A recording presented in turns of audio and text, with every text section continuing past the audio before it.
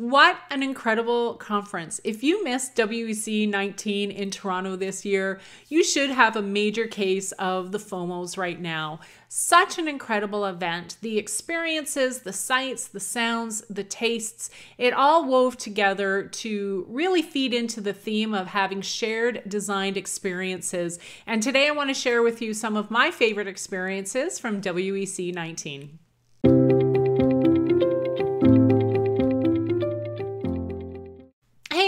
It's Leanne, and WEC 19 in Toronto this year did not disappoint.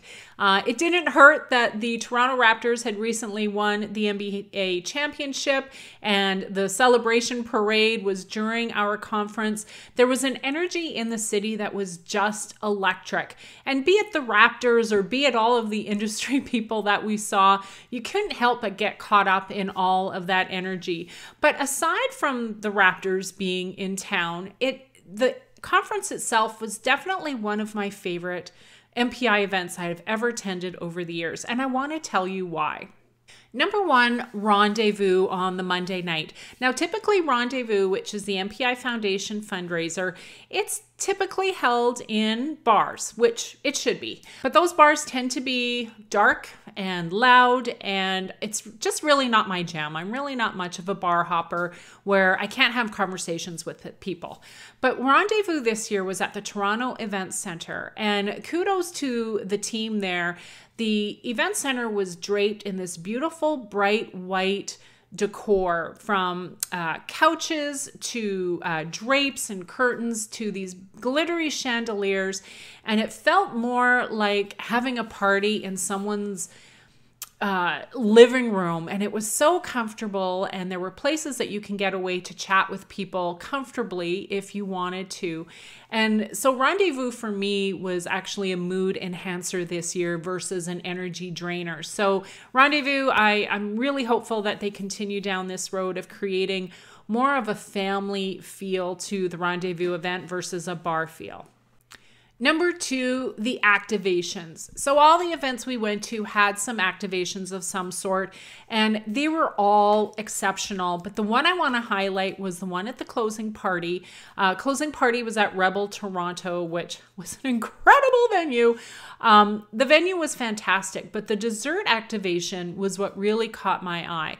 And I filmed some video about the activation that showcased uh, the gentlemen on bicycles uh, peddling ice cream treats around, um, the drag queens on roller skates with the cotton candy umbrellas.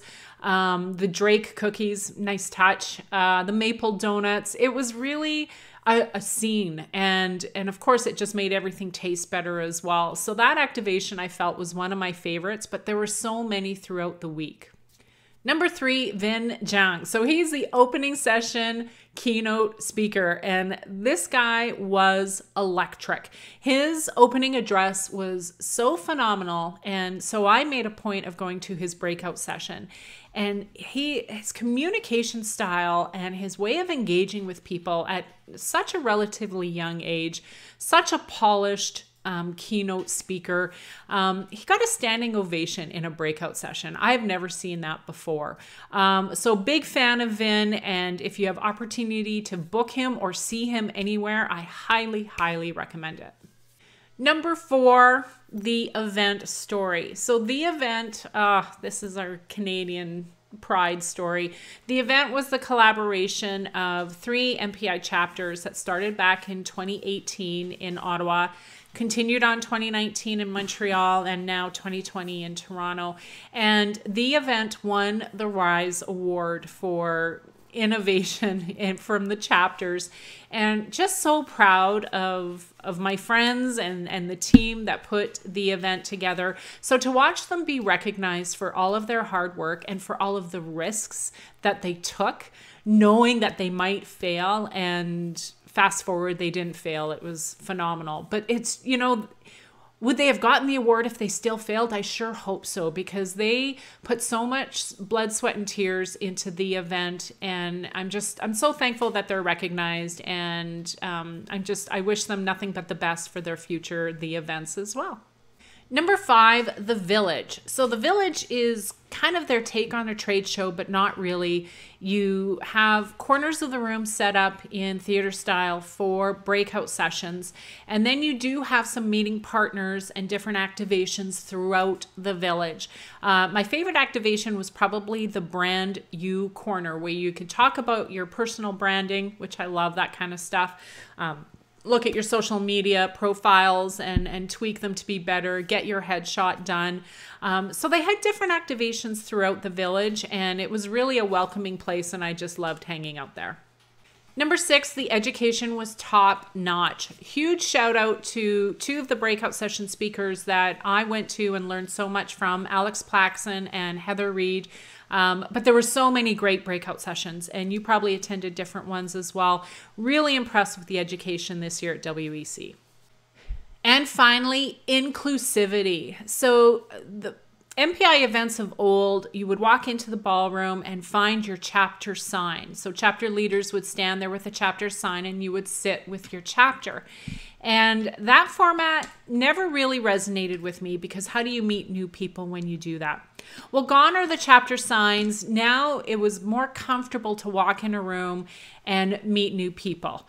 Granted, for people who don't want to meet new people, maybe this format fell on its face for you. But for me, it was such a welcome change, and I was able to connect with new people, um, something I couldn't really do before at WEC during mealtime. So I love that the, the inclusivity now uh, and the removal of chapter signs. I I'm I'm a fan. So thank you, WEC.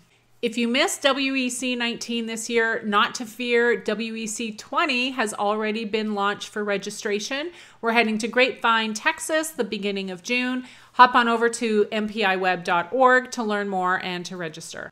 Everyone probably got something different out of the show. And if you were at WEC, I invite you to join this discussion here on this video and tell me what you thought were the highlights for you.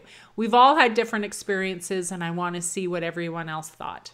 Thanks to everyone in Toronto and everyone at MPI for a memorable WEC 19. And here's looking forward to the next one. Thanks, everyone. Bye for now.